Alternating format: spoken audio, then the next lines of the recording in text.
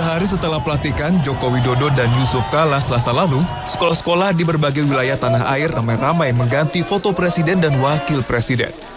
Di wilayah lain, antusiasme yang begitu besar bahkan membuat siswa sekolah berpatungan membeli foto presiden dan wakil presiden baru secara swadaya dengan cara menyisikan uang jajan.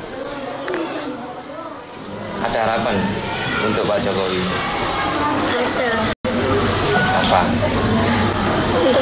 Negara untuk lebih baik. Namun ternyata foto-foto pengganti ini bukanlah foto resmi. Pedagang di pasar mencetak gambar Presiden Jokowi dan Yusuf Kala dari foto lama yang sudah beredar sebelumnya. Presiden sendiri baru melakukan sesi foto resmi sebagai presiden Kamis yang kemarin. Sesi foto ini dilakukan di sela kesibukan Joko Widodo menyeleksi menteri yang akan duduk dalam kabinetnya. Fotografer istana mengabadikan detik-detik menjelang sesi pemotretan ketika presiden sedang menyiapkan diri. Mulai dari memilah jas yang akan dikenakan, merapikan selendang dan sederet tanda kehormatan, serta memastikan penampilannya di depan cermin. Foto resmi dengan pakaian inilah yang nantinya akan dipasang di seluruh kantor pemerintah mulai tingkat pusat hingga daerah.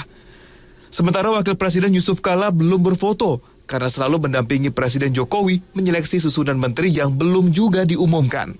Tim Liputan, Trans 7.